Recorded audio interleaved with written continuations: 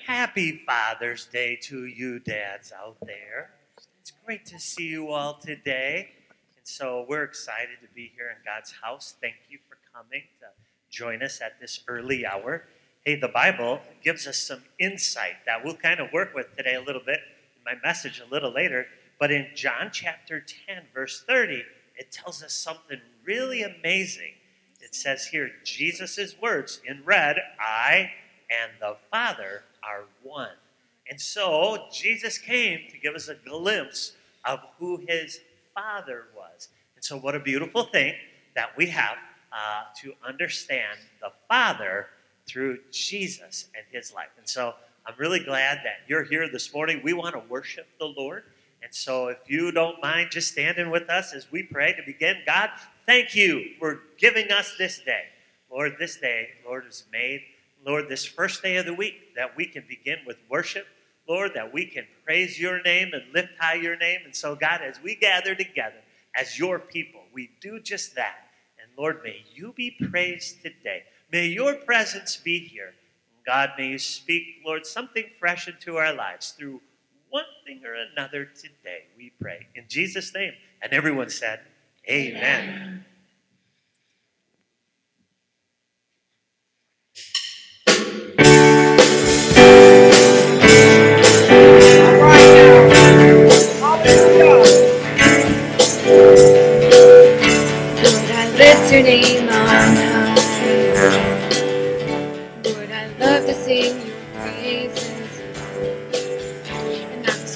Glad you're in my life.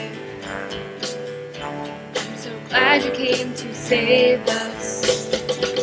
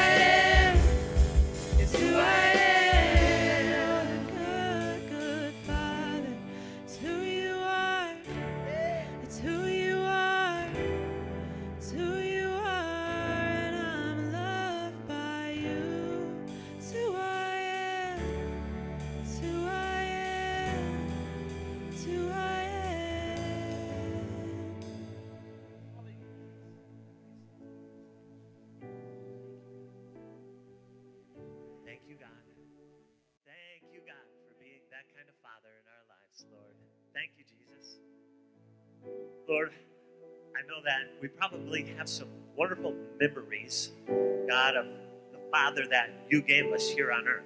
And Lord, perhaps for some, those memories are very small or, few, or maybe not at all. But God, nothing could ever compare to the kind of Father you are maybe we had the absolute very best father that anyone could ever have. And God, you are so much more than even that. And so, Lord, today, God, we celebrate the kind of father that you are. Lord, thank you for the earthly father that you gave us. And Lord, for all that they were and for all that they weren't, God, we're grateful. Lord, help us never lose sight, Jesus, that you are a father. Lord, that you are a father to each of your children, Lord. Lord, there are daughters here this morning, there are sons here this morning that you look down and say, Thank you. Thank you for recognizing me as your heavenly Father. And so, God, we do that today, Lord. We recognize you. We recognize you. We thank you. We, we, we sing our praises to you. Thank you, Lord. We acknowledge you in our lives, Lord. And so, Jesus, on this day, Lord, we're saying, God, thank you for being a wonderful Father. Happy Father's Day to our Heavenly Father. Lord, thank you, Jesus. God, thank you that the Bible tells us that we can cast our cares upon you. So, Lord, with our needs that we may have, Lord, maybe that maybe our hearts are heavy with the need for someone that we know, Lord, and it's maybe not our own. So, God, we just bring those needs before you, thanking you, God, for for caring about that. And, and Lord, we, we just think of others, Lord, too, that are walking through grief. Lord, we're lifting up the Crawford family, Lord, that, that laid to rest, Lord, their father, husband, Lord, brother. God, thank you, Lord, for caring for us in times of grief. And so, Jesus, thank you for, for helping us, Lord. And so, God, we think of families, Lord, the Heiser family. Lord, and other families in our church that uh, the Galloway family that have lost loved ones in the past weeks and months. And so, God, we just ask for your help, Lord. We just know, God, that you care for us in times, Lord, when we're feeling low, when we're feeling discouraged, Lord, when our hearts are heavy. And so, thank you, God. Thank you, God, that you're meeting needs here today needs of healing, Lord, needs of your provision. God, needs of discouragement, Lord, maybe even depression. And Lord, maybe even needs of addiction. God, we just ask that you be our deliverer today. God, that you would be our strength, Lord. That you would make a way, Lord, in dry places in our lives, Lord, that we just feel, Lord, a distance. And so, God, we just ask you to refresh us today. May we experience you as our Heavenly Father in a whole brand new way. Thank you for for being a good, good father. In Jesus' name we pray. And everyone said, Amen. Amen. Well, let's thank the Lord and give him a hand today. Thank you, God. Amen. Now, do me a huge favor and notice someone and give them a wave, a, a high five in the air without touching their hand. And so say good morning to someone as you're seated. Welcome back, Evangel Church. Hey, got Abigail here with me, What's by the up, way. guys? Abigail's my wife. And uh, we are just so excited to be back here with service with you guys at the church. And for those joining us online, hey, thanks for hanging out with us still. Hey, we just really want to quickly first say Happy Father's Day. We are so glad that you fathers are out here celebrating Father's Day here with us here at Evangel. We're excited to celebrate with you. Speaking of which, I dressed up. Can you see? I got my tie on today. Uh, just kidding. This is what you can get today. This stylish tie that happens to be a cookie. Delicious and stylish. Hmm. Now, don't mind me talking with my mouth full, but maybe you're feeling Nice t-shirt. shirt right number one dad. Hey, good news about this one size fits all. So, on your way out this morning, fathers, make sure you pick up a cookie. There's also a gift card attached to our local friendly, the Park Place Cafe. We're pumped about that. That is It's a good place, right? Yes. Also want to let you guys know that some of you, before all this happened, had signed up for a new members class. And we're glad to let you know that we have that coming up soon. And so, for those that signed up, you'll get a reminder that you signed up to be a part of that. And maybe you're like, well, I want to be a part of that class too. That's awesome. That is going to be July 19th, okay, at 5:30. That's a Sunday night. Gonna come together. We'll, we'll, we'll make sure everything uh, safe, social distancing, and all the safe practices are in place still. We're gonna come together and uh, do that class that we've been waiting months to do now at this point. And I know Pastor's excited about that one. Another thing we haven't done in a very long time, Abigail. Do you know what we haven't done in a long time? I do, and I'm so excited that we are finally back so we can do this. And I believe Yeah. that it is BGMC. Sunday. BGMC Sunday is coming up, and that's just next Sunday. Yes. Now, things got to look a little different again to make sure that we're uh, safe practices are in place. Mm-hmm. And so, sadly, that does mean that we can't have the kids running around and just collecting change. That's just not the safest practice. But what we will do is have the two buckets out, so when you come in, you're able to, uh, kids dump your change uh, into the buckets, and parents and adults uh, bring your loose change and your green dollar bills because those are great too. And you're able to drop those in, and then we'll take a time during the service to weigh those and see exactly uh, how much, uh, or, or not how much, but who has more weight in theirs. And then we'll find out about the how much later on. Yeah.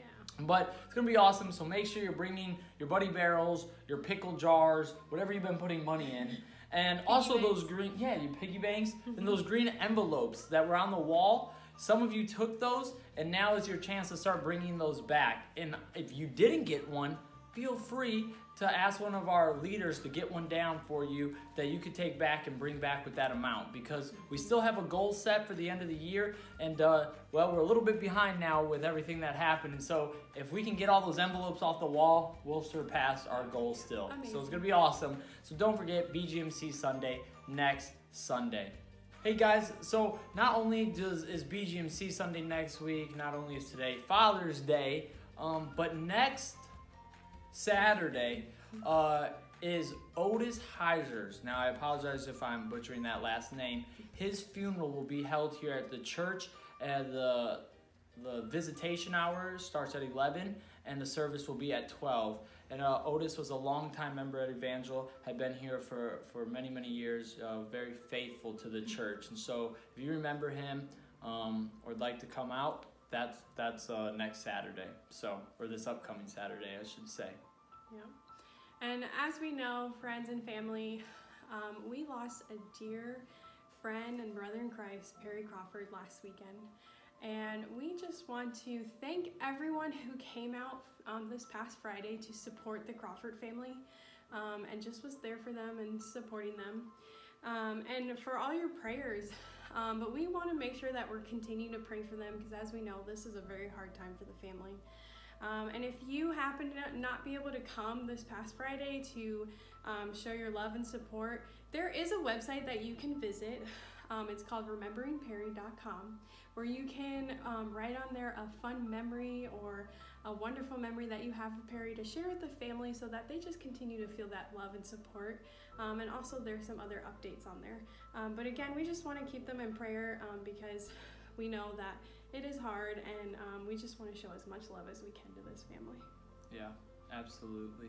Hey, as we transition into offering, we just want to remind you guys of, well, we were saying four ways to give, but it's technically five ways now. Um, that's through our website, myevangel.com. You can check out that website. Um, you can go on to there and you'll see all these ways on there. But you can go on the website and give. You can download an app called Simple Give and find the church on there and give your amount that way.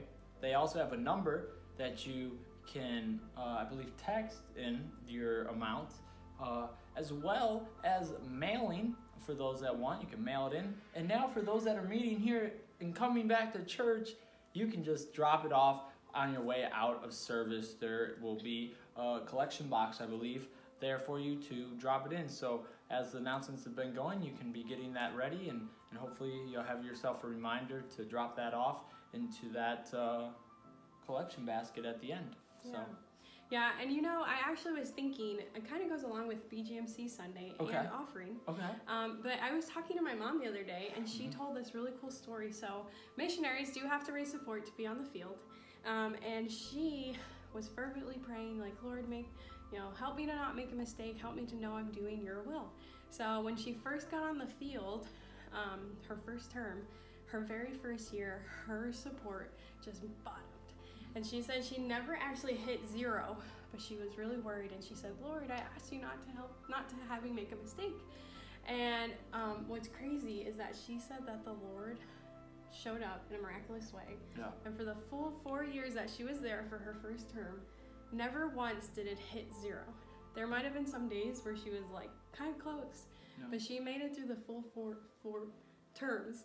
and so that just goes to say one, how important it is to give to missions for BGMC, but also when we tithe, sometimes we look at our bank account and we're like, I don't know if I can give. I don't have enough money to give. Sure. But we have to remember we serve a faithful God Amen. and a God who provides and a God who does miracles.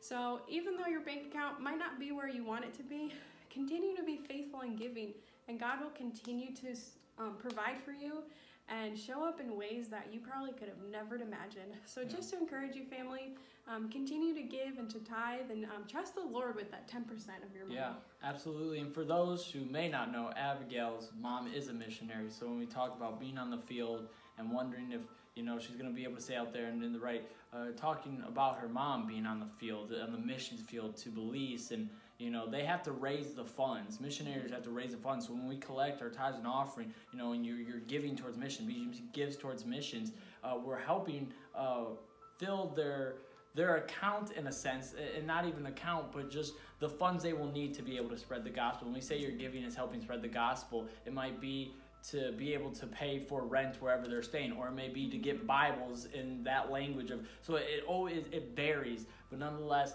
that's why it's important. That's why we believe in, in giving to missions, and, and, and we take that up. So, yeah, that's awesome. Well, hey, let's uh, bow our heads and pray. Dear Heavenly Father, Lord, thank you so much for today, Lord. Lord, thank you for uh, being our provider, being faithful, Lord. Lord, help us to be faithful, Lord. It, it says that when we're faithful with little, you can, you know, um, you're able to provide us with much. You know, Lord. And so we just pray that we're faithful in the things that you already have given us, Lord. And we're faithful to you, Lord, uh, as you've been faithful to us. And God, so we just pray for this Sunday, Lord. We pray for the, the service as it goes on.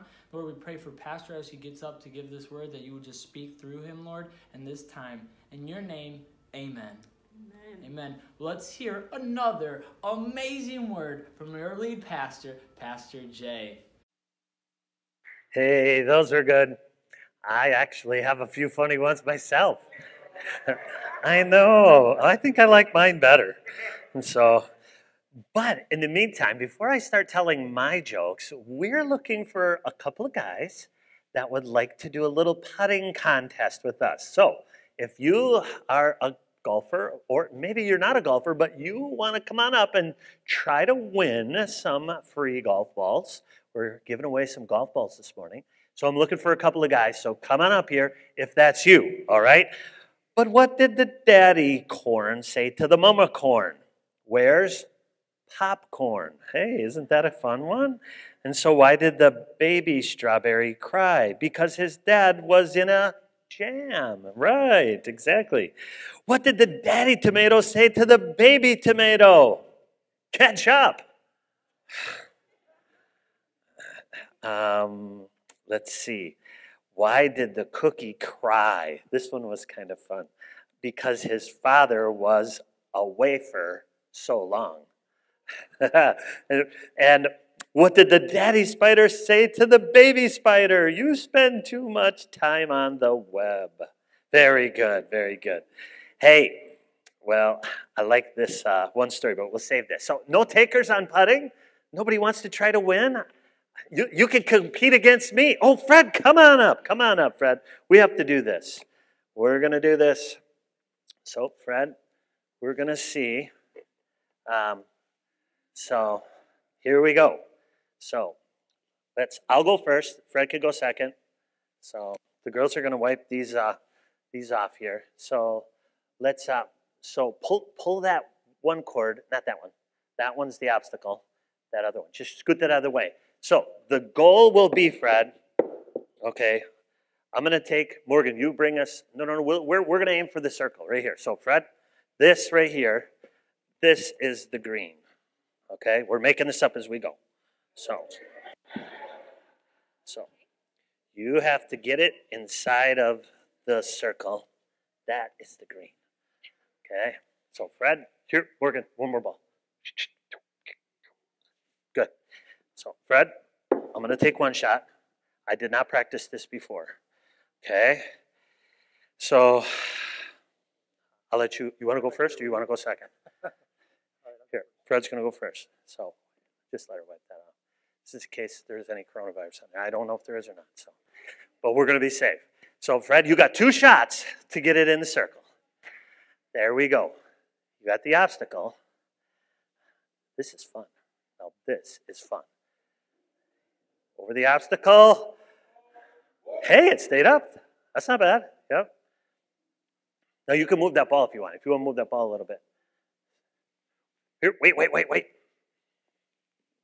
This.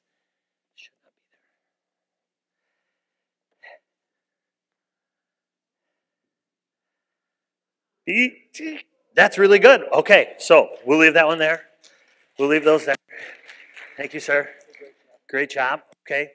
Give, give, we, we've got to give Fred his prizes. So, okay. Sure. There you go, Fred. You're our only contestant, so you get all four. So, now I am going to try to beat that with just one. Not to say I ever practice putting. I haven't golfed yet this year. But when I talk to people on the phone, though, I usually wear my headset and I putt around my office while I talk to you. so if you're talking to me and you hear this little tick sound, that usually means that I'm golfing. Isn't that kind of crazy? All right, here we go, here we go. Fred beat me. Fred, you beat me with both. Oh, that's horrible. Okay, very good.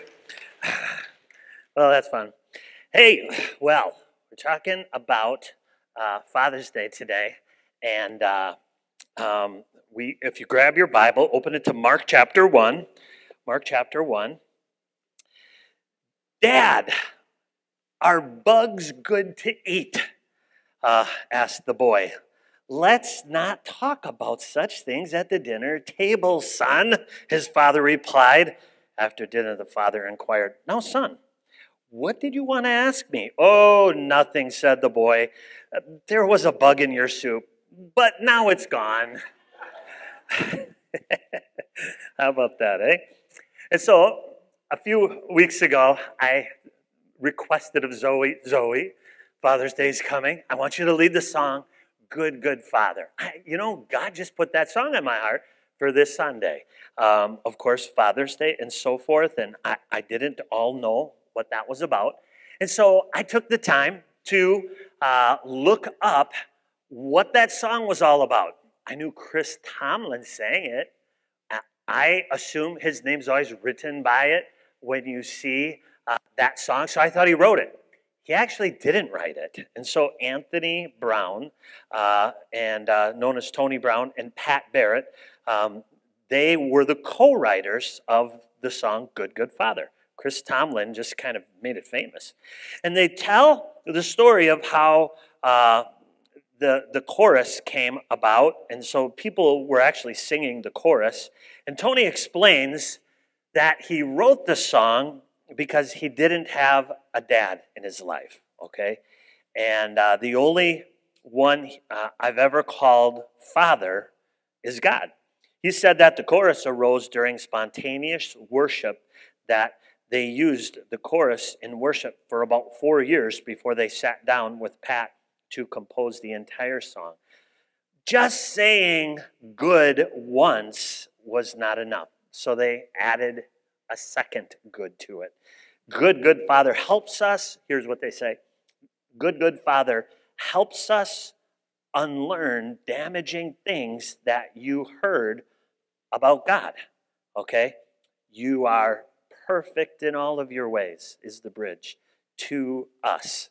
God's goodness. It personalizes it to us. The result is a powerful song that many people relate to on a deep level. How many people had heard that song before we uh, before we sung it today? Okay, so for some of you, it might have been your first time. So both Tony and uh, and Pat understand that their song carries a priceless message uh, from God as He is worshiped through it all.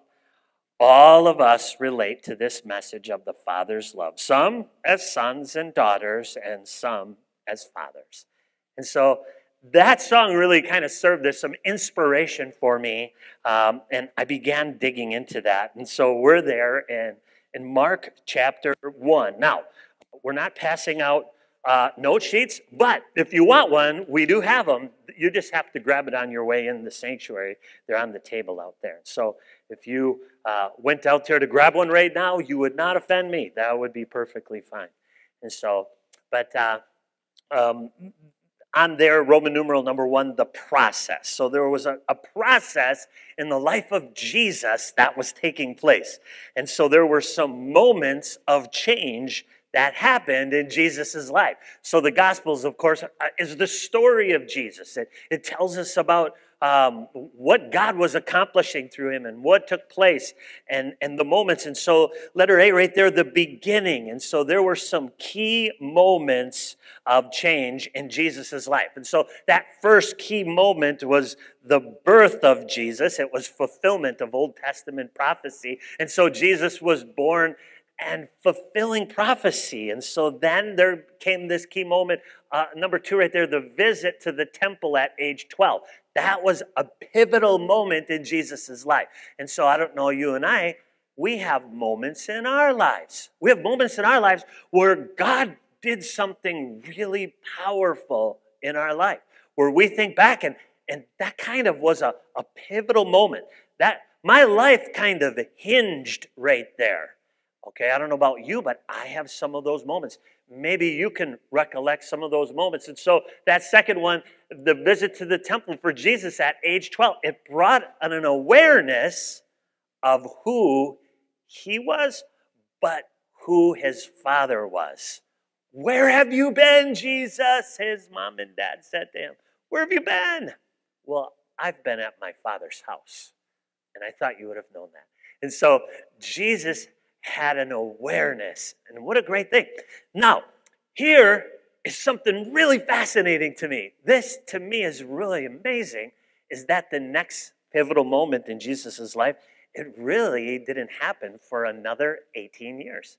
It was another 18 years, and that was his ministry. And so, an understanding of why he came, and he began doing it. Now, in our culture, we would have wanted to see Jesus. Maybe you, as as uh, if this was your son, you would have probably been like saying, "Hey there, young fella, it's time to get going." What age would you have been kind of being like, "Let's get rolling here"? Probably at age 18, right? Isn't that more of our culture? And so Jesus stayed back there in Nazareth doing the family trade. What was the family trade? Anybody remember?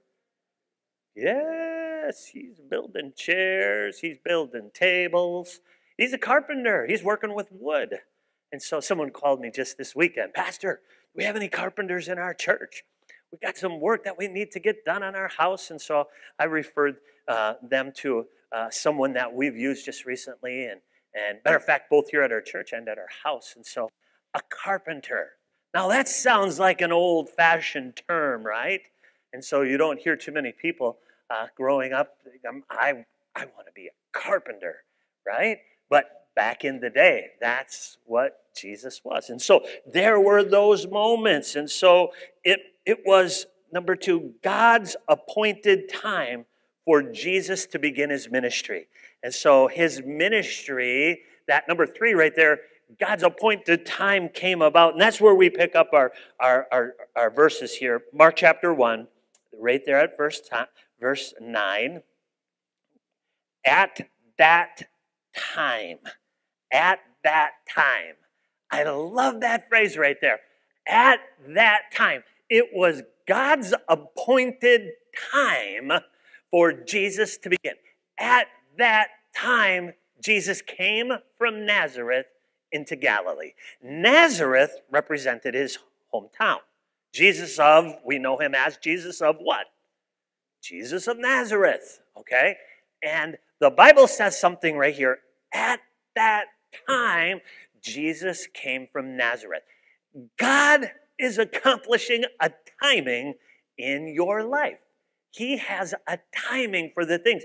There are things that hinge upon God's timing. You know that? That's a beautiful thing. And there was a hinge that swung open. I, I like that. I don't know if you've ever uh, used a hinge before or looked at a hinge or had to put a door on or take a door off or, or maybe you're trying to move your refrigerator in or out of the house and, and the door frame wasn't big enough and you had to take that off. There, there, there's a, a hinge that swings that door. And I believe that there are doors in our lives that open and close by God's doing. And so at that time, the Bible says, Jesus uh, came from Nazareth of Galilee and was baptized by John in the Jordan. Just as Jesus was coming up out of the water, he saw heaven being torn open and the Spirit descending on him like a dove. And a voice came from heaven You are my Son, whom I love. With you I am well pleased. And so, what we see here is this verse transitions the focus at that time, uh, the focus of the narrative from John the Baptist to Jesus. Okay? Um, uh, it was more informational about what was happening. And then uh, Mark, in typical fashion, he, he does this with no fanfare or very little background. There is no mention of Jesus' birth in Mark's gospel.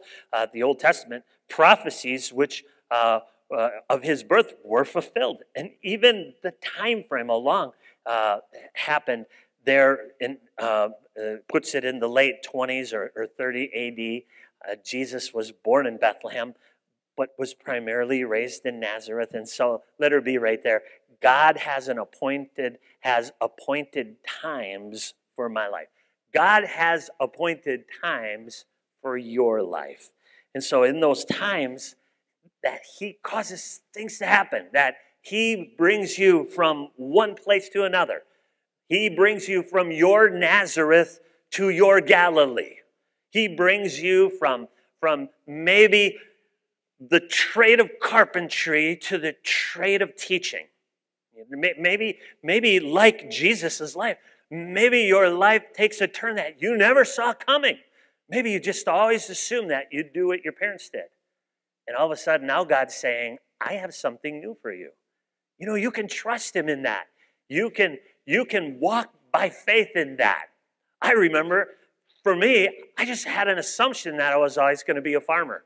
When I was a kid playing with tractors, okay, my toys when I was a kid were tractors. I don't know what your toys were, but it was little tractors. I had a plow and a disc, and and uh, I I played farming, and I just imagine how many cows we had on on my on my farm, and my cousin, he and I, we ran the farm together. My cousin Dean, and and that, that's what I, I, I love playing toys. I love playing tractors. I love playing farm. I just always assumed that.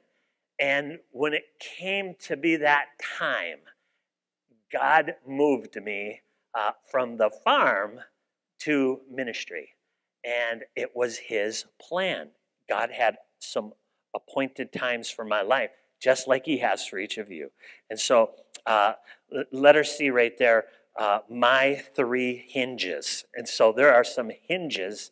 Uh, and so here's what I think is really special Jesus came, and the Bible says, as we open today with, is I and the Father are one. And so Jesus came to give us a glimpse of who the Father was. So we see God the Father through Jesus, okay? We get a glimpse of how God sees us through Jesus as well. And so we, as a son, uh, of God, we as daughters of God, we get a glimpse of God's heart towards us as his children.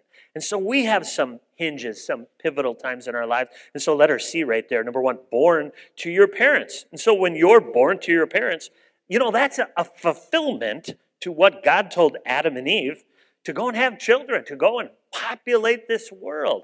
And so, in a sense, when you're born, that's a prophetic fulfillment of something that God ordained. How exciting is that? So you might not have thought about that, but but your being born on this earth was part of a fulfillment that God directed. And so you are here today, each and every one of you, as a fulfillment of prophecy. God spoke that. And so you may have always thought that your life was just kind of ho hum. Your life is a, a fulfillment of prophetic prophecy that God told Adam and Eve. That's a really exciting thing. And so the second hinge that's pivotal and powerful in your life is an awareness of God and his desire to be in relationship with him. And so there's an awareness. I just believe that every single person, at one point or another, you experience this God encounter. And you have this awareness of that God's alive, that He's real, and that He wants me to be in fellowship with Him. I really think that that's one of the first things that we encounter. Um, not just a belief in God, but that God wants to have fellowship with me. I think that's one of the second hinges in our life. And the third one um, is a pivot from a me centered life to a God centered life. Okay? Uh, the, the third hinge, and this is the one I, I feel like when that things can really get exciting for your life, is when your life goes from being about you to being about God. When you step out of the center and allow God in that place. So that to me, and so you're you're uh, you are living in an appointed time. And so I really love um, that thing. Maybe you've heard that Abbott and Costello back in the day. They did that routine called Who's On First. Okay, remember that? The incredible sense of timing between these two actors and the material that this was known as one of the greatest comedic routines in, in like history. Abbott and Costello. Um, in American entertainment. It's a brilliant written piece. If you've never heard this before, you've got to go on YouTube and, and listen to it. But the comedy and the timing, it's really what makes it funny. And so, timing in sports is really everything. It, it's, uh, it, it, it's it, what causes competitors to either win or lose.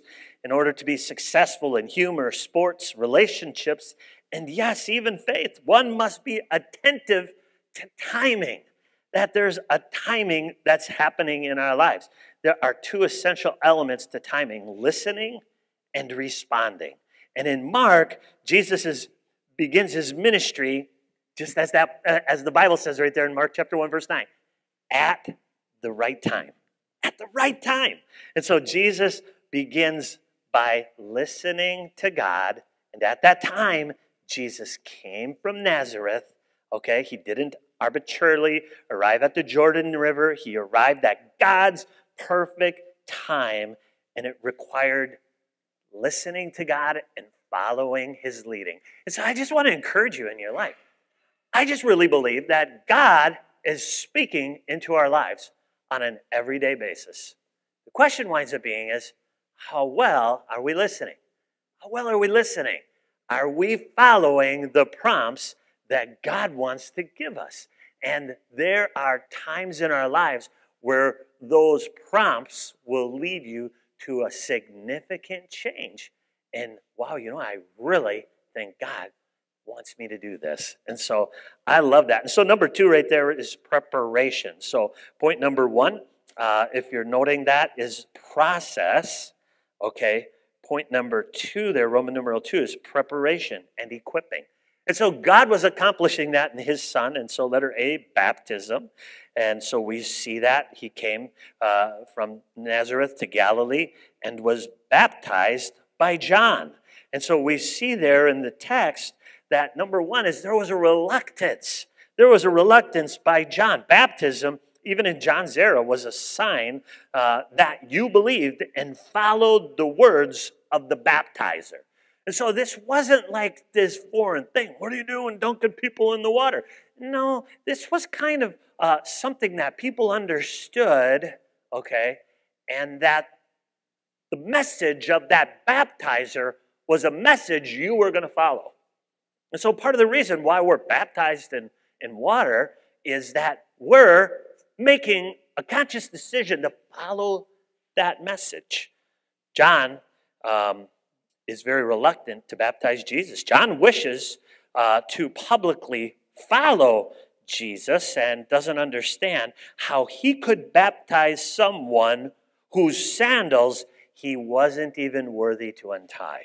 This was a difficult thing. And, and and so, and just like us, sometimes there's this reluctance.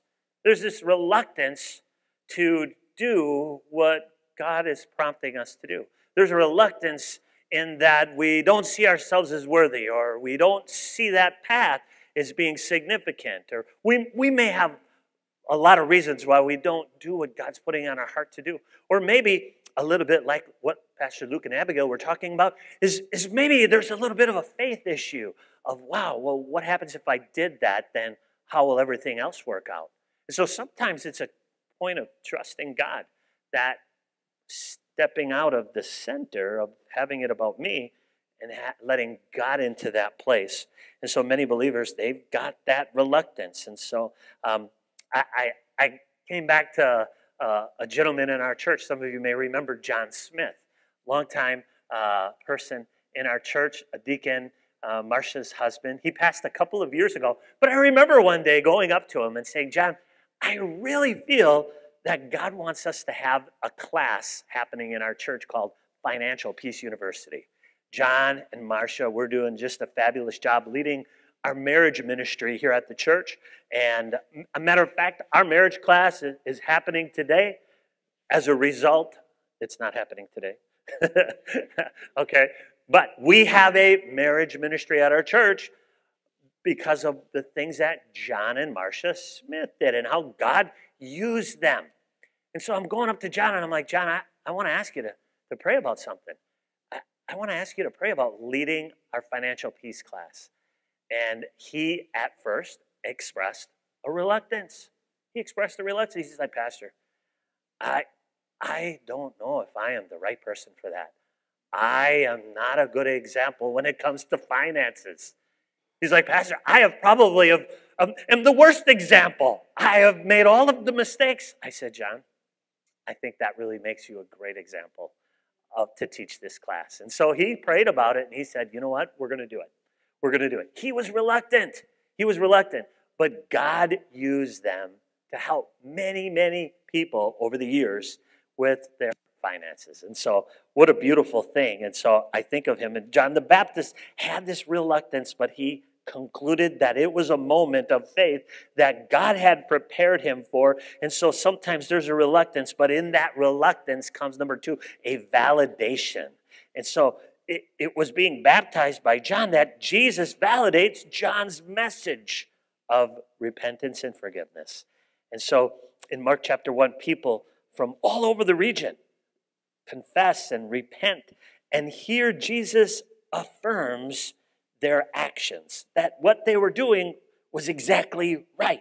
And eventually he'll go even further by taking their sins at the cross so that they can be forgiven and their relationship with God restored. And so their God's affirmation is far different than the affirmation that we get from the world. And so there is a reluctance, a validation that takes place. And then, number three, a precedence and importance of baptism comes. And, and that's our example in why we encourage you to be baptized. Why it's an important thing for you to do. It's a, it's, it's a precedent that Jesus set for us. Um, and it's an importance because you're saying that that message is a message that I'm going to follow after, that my life is going to live for. And so, in our um, uh, preparation for service, God has a vantage point that we don't always see. God can see things for our life that, that we miss sometimes.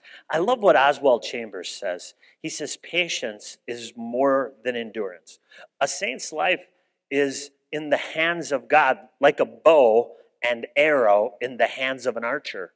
God is aiming at something the saint cannot see and stretches and strains, and every now and again the saint says, I can't stand it anymore.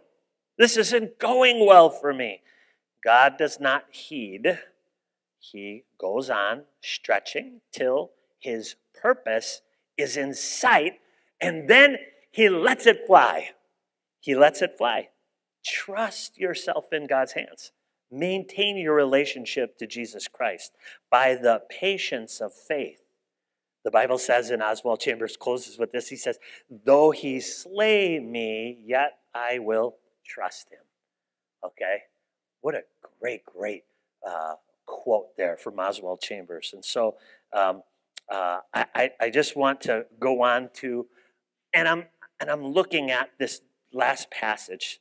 The voice came from heaven. You are my son in whom I love. With you I am well pleased. I'm thinking, okay, I use process, I use preparation. I'm like, I need a P word. What's a good P word? I need a P word. And I'm like, what is this saying? And I'm like, wait a minute. Pronouncement.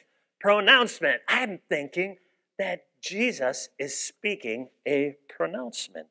A pronouncement. And so I looked up that word um, and defined it. It says a formal or authoritative announcement or declaration. I'm like, that's exactly what Jesus is saying, what God is saying over Jesus right now in this moment. Okay? Now, I don't know about you, but when I am at a wedding, uh, there in every marriage is a pronouncement. I have that word written in my notes every single wedding that I've ever done. Now, I don't always say the word pronouncement, but it's speaking that.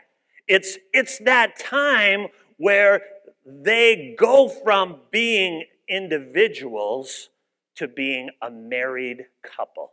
It's that time when they go from being a woman and a man to being a husband and a wife. It's a pronouncement.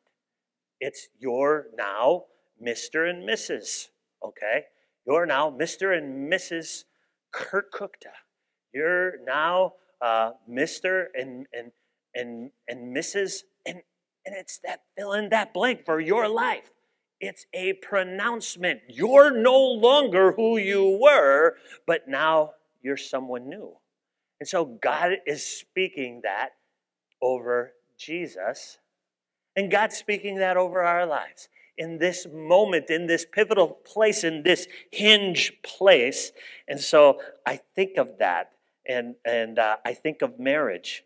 And um, number two, it's a powerful and poignant moment for me. I always ask each couple, I'm like, okay, I'm going to introduce you at this point, okay? And, uh, and I call it a privilege, you know, to introduce for the very first time.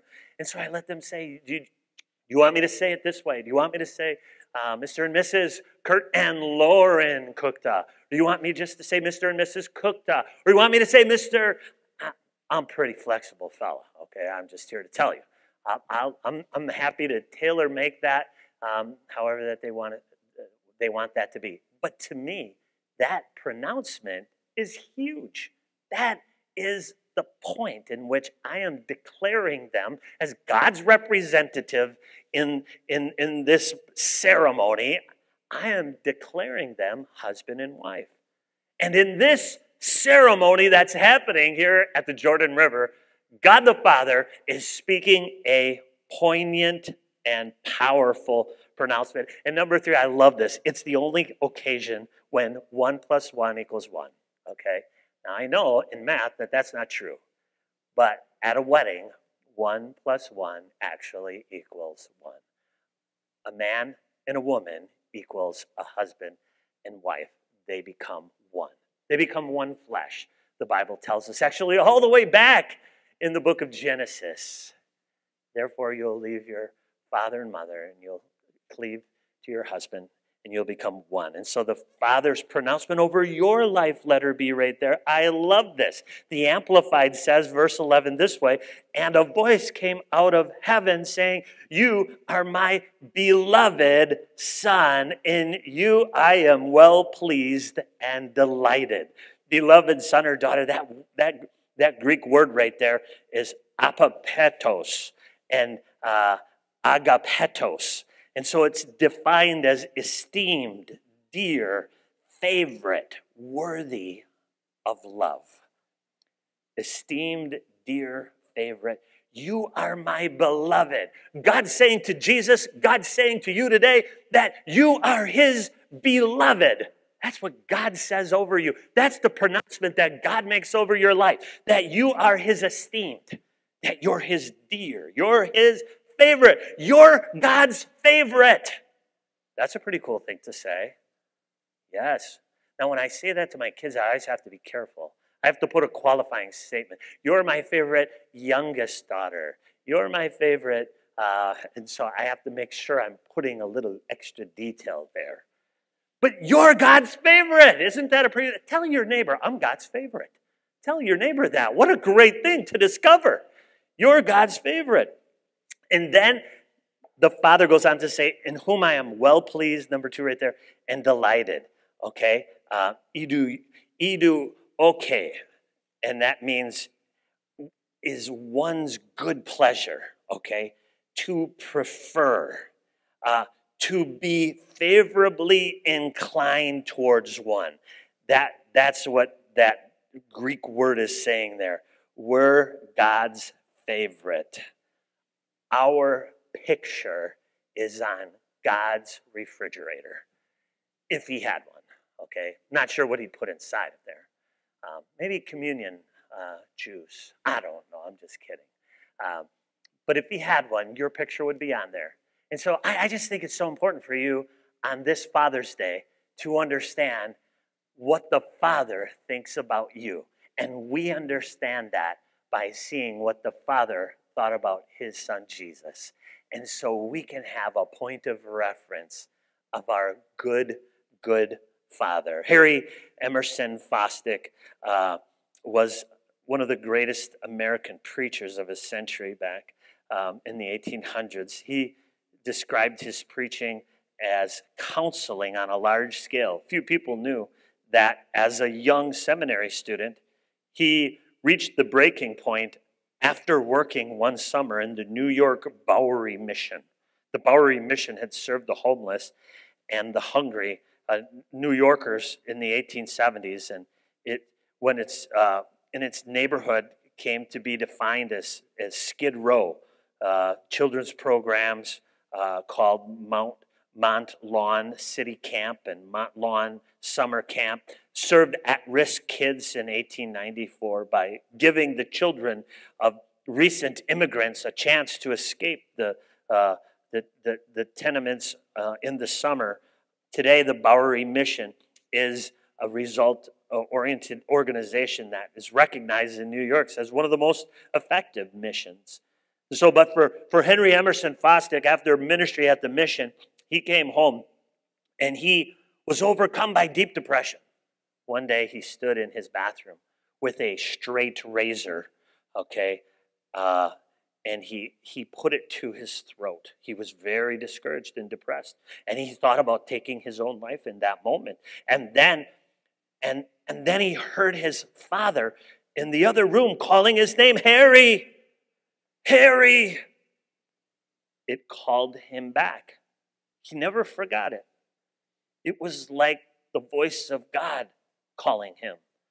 So I want to remind you today that in those times when you're in the wilderness, trying to find your way through, when temptation comes and offers you the wrong answer, the wrong choice, the wrong use of power, the way to popularity, the wrong kind of partnership, then you remember God has called your name. He's called your name. This is my beloved son. This is my beloved daughter, in whom I am well pleased. God's saying that I'm his favorite. I'm his favorite. Not about, about the rest of you, but I'm God's favorite. But you need to say it the same way. I don't know about the rest of you, but I'm God's favorite today. I am God's favorite, and He is well pleased with me. He is well pleased. You may have gone through your whole life thinking that you've never matched up, thinking that you've never done well enough, thinking that you've blown it on so many counts and places. But God doesn't see it that way. Your heavenly Father doesn't see it that way. You're his favorite. He loves you. He's well pleased with you. Let's stand as we close here this morning. God, thank you. Thank you, God, for just the reminder on this Father's Day of how you see us. And so, today, we have a glimpse into how you saw your Son, Jesus Christ. And God, it helps us understand the way you see us. And so, Lord, I pray that as we sing that song, maybe today and maybe in the days and years ahead, God, it may help us to adjust our view of our Father. Our Father. God, may it help our thinking. God, that we have a good, good Father who is perfect in all of his ways. God, thank you for being that kind of God in our lives. And so, Lord, help us to let go of the things in our life that we need to. God, help us, Lord, to forgive. Lord, when we've felt that we couldn't do it, give us the strength. And Lord, may we step out of that center and let you in that place, realizing that it's your vantage point, that is your timing that were that arrow in your bow. And though it may feel difficult, though we may be feeling stretched at times, God, you know what you're doing, and you know where you're best aiming us. And so we trust you. God, thank you for being a good, good Father to us on this Father's Day. In Jesus' name, amen. Amen. God bless you all. Have a wonderful day. Dads, don't forget your gift out there. And I just want to ask all of you to save your visiting for outside if you could. We need to wipe the sanctuary for our next service. So, uh, God bless you. Take care. Happy Father.